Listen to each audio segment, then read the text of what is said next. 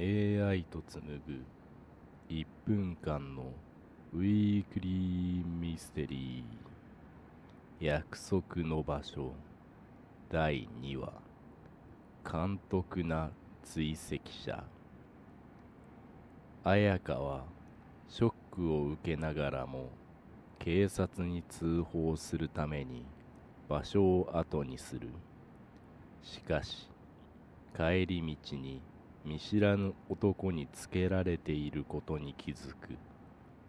は逃げ惑うが彼女が住むアパートまでつけられてしまう。